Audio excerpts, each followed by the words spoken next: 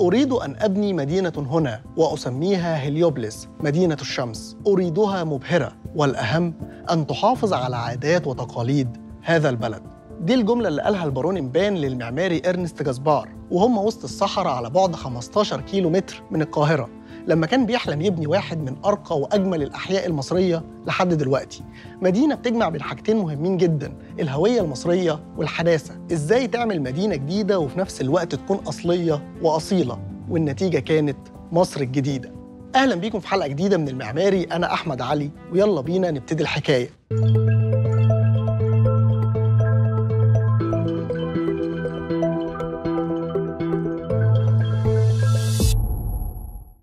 أكتر زحمة مسلية على قلبي هي زحمة مصر الجديدة.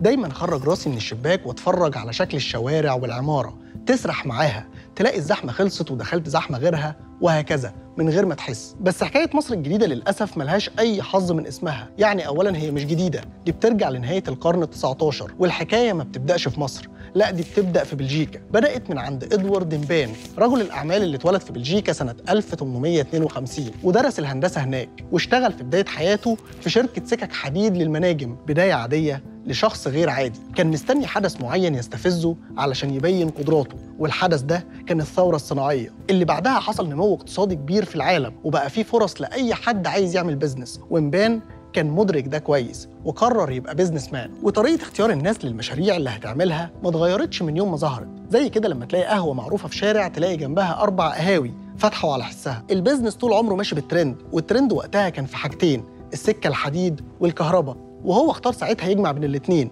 فاستقل وعمل شركته الخاصة بتنفيذ سكك الحديد الكهربائية وما اعتمدش على المحركات البخارية زي اللي كان بيتعمل في العادي. وفعلا وقتها أسس شركة ترام وعمل أول خط سكة حديد محلي بيشتغل بالكهرباء في بلجيكا. طبعا مشروع زي ده بالنسبة لشركة ناشئة كان حاجة ضخمة جدا نقلته نقلة تانية خالص وطورت جدا من علاقته مع الحكومة لدرجة إن بقى في علاقة مباشرة بينه وبين ملك بلجيكا ساعتها. ونقدر نقول إن ده سهل له حاجات كتير قوي بعد كده زي مثلا إنه عرف يأسس بنك باسمه بنك إمبان علشان يوفر له أي تمويل يحتاجه في مشاريعه بعدين. يروح لنفسه بقى ويطلب قرض من نفسه ويقدم ضمانات وما يدفعش بعدها فيحجز على أملاك المقترض اللي هي أملاكه أصلا. وعجلة الإنتاج تمشي. الخطوة دي كانت خطوة ناجحة جدا خصوصا إن مشاريع امبان بدأت تتوسع وتكتر وبقت موجودة في دول كتير زي فرنسا. وبالمناسبة شركة امبان هي اللي بنت مترو باريس وكمان عملت مشاريع تانية في أوروبا. بس لحد الوقت ده لسه ما جاتش مصر. لو سيبنا بقى أوروبا ورحنا القاهرة هنلاقيها لابسة لبس العيد ومتشيكة وبتعيش حالة نهضة عمرانية. النهضة اللي كان بدأها الخديوي إسماعيل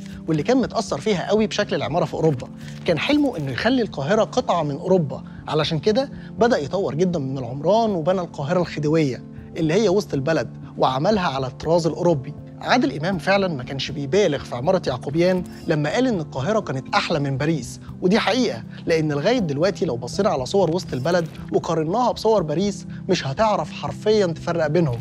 الاتنين فعلا نسخة من بعض. كل ده خلى مباني يشوف مصر فرصة كبيرة للاستثمار وإنه لازم يستغلها. في سنة 1896 اتفتح ترام القاهرة اللي اشتركت واحدة من شركات مبان في إنشائه وده كان أول شغل ليه في مصر الاختراع اللي غير شكل القاهرة ونقلها للقرن العشرين. كمان كان ليه أثر اقتصادي على كل الشوارع والمناطق اللي بيعدي فيها واللي شكلها اتغير تماما بعد ما الترام مشي فيها. وده لفت انتباه مبان وبدأ يشوف الفرص الاستثمارية اللي موجودة وأهم فرصة هي الاستثمار العقاري. البلد ابتدت تتزحم ولازم نستثمر في المباني. بس المشكلة وقتها إن أسعار الأراضي في القاهرة كانت غالية جدا. تقريبا نفس أسعار الأراضي في مدن كبيرة زي باريس وفيينا. علشان كده كان صعب إنه يحقق مكسب كبير جوه القاهرة. وهنا مبان قرر قرار مهم. إحنا هنخرج بره القاهرة نبني مدينة جديدة وسط الصحراء مصر الجديدة. بصراحة أنا لحد دلوقتي مش عارف أصدق إن الكربة أصلا كانت صحراء. ده إحنا بنحتاج وسطتين علشان نركن فيها بس وبنتكلبش برضه. المهم الصحراء ساعتها الأراضي فيها كانت ببلاش الفدان الواحد بجنيه وكمان هتكون بعد كده توسع عمراني للقاهرة اللي زي ما قلت لكم بدأت تتزحم جدا. بس المشكلة الأكبر هي إن مين هيسيب العيشة في القاهرة ويروح يعيش في الصحراء؟ خصوصا إن وسائل المواصلات زمان ما كانتش زي دلوقتي. مفيش أوبر ولا ميكروباصات ولا مترو وتغير في العتبة وتاخد الخط الثالث الفكرة كانت مستحيلة ومحدش مقتنع بيها. حتى الحكومة نفسها لما تقدم لها المشروع استغربت جدا وكانت شايفة إنها فكرة مجنونة ومش هتنجح. بس إمبان كان عنده الحل اللي هيخلي الصحراء دي قريبة. وطبعا الحل ده كان الترام. لعبته بقى إمبان تحسه كان ماشي في الحياة رافع شعار من دقنه وفتله زي ما عمل البنك علشان يسلف نفسه استغل شغلانته الأولانية علشان يبني مصر الجديدة. علشان كده هنلاقيه أسس شركة جديدة شركة سكك حديد القاهرة الكهربية وواحات هليوبلس واللي المبنى بتاعها من تصميم إرنست جاسبار اللي عمله سنة 1907 ويعتبر واحد من أوائل المباني اللي اتبنت في هليوبلس ولسه موجود لحد النهاردة في شارع إبراهيم اللقاني. وعلى فكرة لسه هو مقر الشركة اللي بقت شركة مصر الجديدة للإسكان والتعمير. ولسه على المدخل بتاعها مكتوب بالفسيفساء الأحرف الأولى من اسم الشركة القديمة. Cairo Electric Railways وقدم أول تصميم للمدينة الجديدة هليوبلس تقريبا كده سنة 1905 البارون إمبان زي كتير من الأجانب اللي كانوا موجودين في الشرق في الوقت ده كان مهووس بالأفكار الاستشراقية الثقافة العربية والشرقية عموما وكان مهووس قوي كمان بالحضارة المصرية القديمة وده واضح جدا من اختياره لاسم المدينة هليوبلس الاسم الإغريقي لمدينة الشمس عند المصريين القدماء وواحدة من أقدم المراكز الدينية في عصر ما قبل الأسرات واللي مكانها دلوقتي حي المطرية. ومش بس الاسم اللي إمبان كان موفق في اختياره لا كمان المكان. شوفوا بقى التخطيط من الأول كان عامل إزاي. اولا اختار منطقة المنسوب بتاعها هيكون عالي بحيث تكون أعلى من القاهرة وبالتالي تكون معرضة دايما للهواء البحري. وكمان يكون محاوطها من الجنوب جبال المقطم اللي بيصد أي رياح غير محببة في الشتاء. وبكده يكون الجو في المدينة ألطف في الصيف وأدفى في الشتاء. بالبلدي كده جمع مميزات البحري والقبلي وعرف يتجنب عيوب الاتنين. تاني حاجة تصميم المدينة نفسه. البارون كان عايز يبني مدينة بتجمع بين حاجتين مهمين قوي الهوية والحداثة. التصميم كان لازم يكون مميز بيعبر عن روح العصر بس في نفس الوقت بيحترم الهوية والثقافة المصرية. علشان كده قرر إمبان إن تصميم مصر الجديدة يجمع بين الحداثة والأفكار اللي كانت منتشرة عن تصميم المدن في بداية القرن العشرين. وبكده ظهرت هليوبلس بمباني حديثة بتناسب الزمن اللي إحنا فيه بس في نفس الوقت برضه فيها الروح الشرقية. وعلى قد ما التصميم ده كان ثوري وقتها على قد ما في ناس كتير اعترضت عليه في الأول وكانوا شايفين إننا بنحشر عناصر زي القبب والمآذن في بيوت سكنية شكلها جديد. بس في ناس تانية شافت إن ده نوع جديد من فن العمارة أو إن ده هيكون واحد من عوامل الجذب للأجانب في إنهم يحققوا أحلامهم ويعيشوا أو يزوروا المدينة الشرقية اللي في خيالهم. في كمان دراسة عملها روبير إلبار وضح فيها إن الاعتبارات العملية والاقتصادية هي اللي حققت نجاح هليوبلس مش الشكل الجمالي والطراز العربي المستوحى من ألف ليلة وليلة. وأعتقد كلنا دلوقتي شايفينها حلوة وعجبنا التصميم كده. وبغض النظر عن كل ده إلا إن تصميمها كان ناجح جدا. ولحد النهارده الفرق في التصميم والشكل الجمالي واضح بين المنطقة التاريخية الأصلية في هليوبلس وكل المناطق اللي اتبنت بعد كده في مصر الجديدة.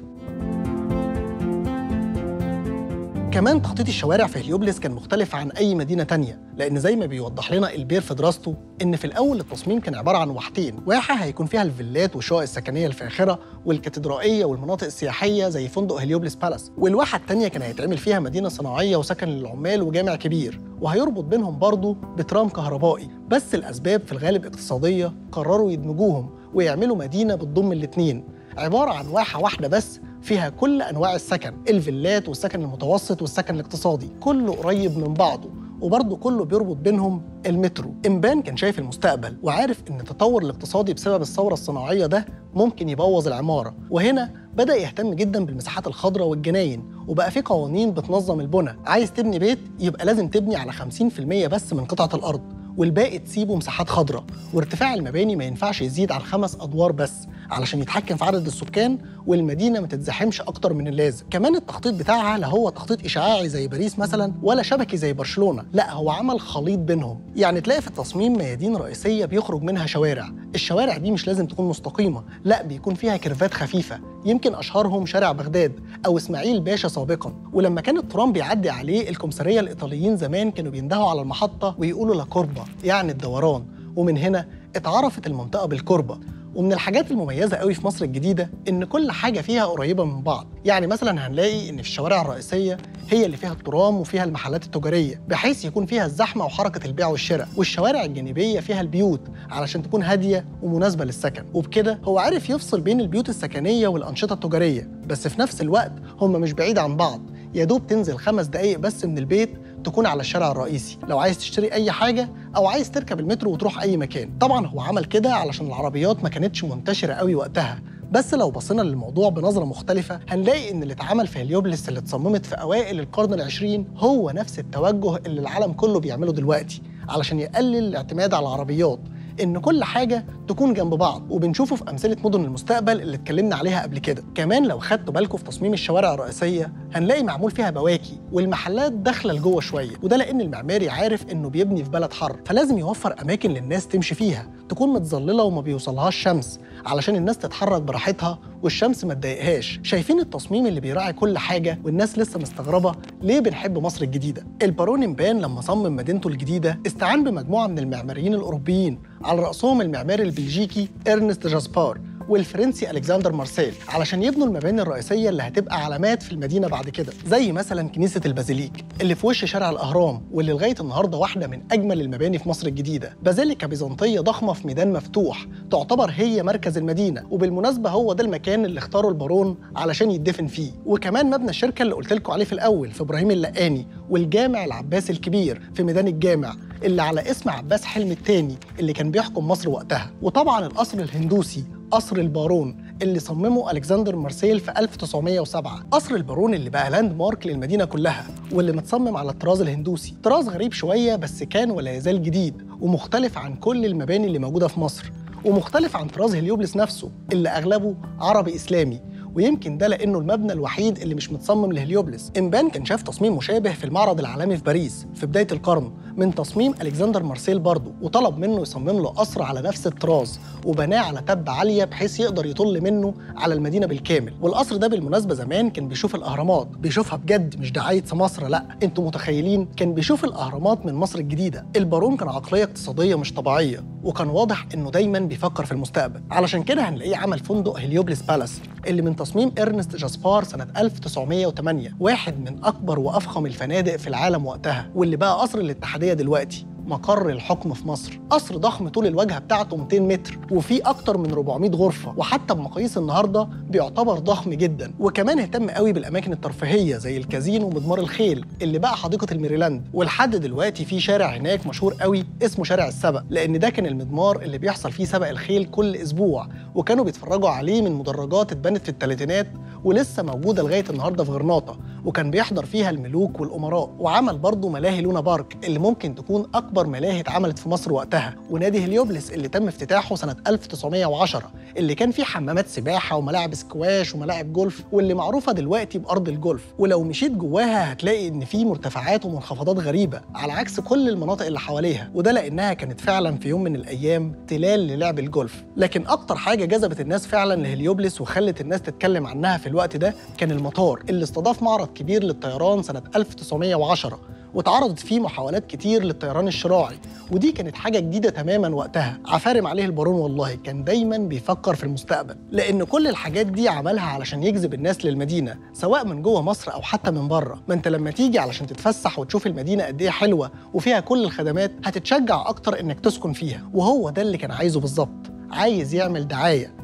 وبالشكل ده المباني دي بقت landmarks بتميز المدينة بمبانيها الضخمة وفي نفس الوقت هي نقط جذب أحيت فعلا المدينة وأكدت بطرازها المعماري على وحدة شكل وتصميم هليوبلس حتى لو كتير من معالمها اتغير. حكاية مصر الجديدة مش بس حكاية مدينة أو حي كبير في القاهرة ولا حدوتة معمارية ظريفة لا دي درس ملهم لأي حد بيبدأ حياته. البارون إمبان عينه دايما كانت على قدام. لو رجعت الحلقة هتلاقي كل قراراته بنت العصر ده مش بنت عصره هو.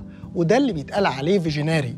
أو صاحب بصيرة والناس دي للأسف مع الوقت نسبتهم بتقل في العالم. ما بقاش في خيال يفكر ويسرح. مفيش حد هيفكر يسيب شغل مستقر علشان يبدأ business جديد على العالم. مفيش حد هيسيب بلده اللي كون فيها علاقات وبقى غني علشان يجري ورا حلم في بلد تانية في قارة تانية. مفيش عقول كتير بتصمم عمارة حديثة بس بروح وأصالة التاريخ. كل اللي عمله البارون كان حلم واستثمار عنده واستفاد منه آه بس هو أنعش مصر الجديدة. حولها لواحدة من أجمل المدن في مصر.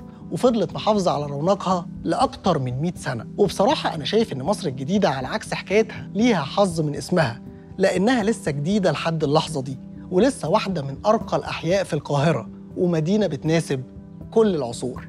وبس كده خلصت حلقتنا النهارده. لو الحلقة عجبتك ما تنساش تعمل subscribe للقناة وطبعا like و share للحلقة وخلونا نتناقش في ال comments ات.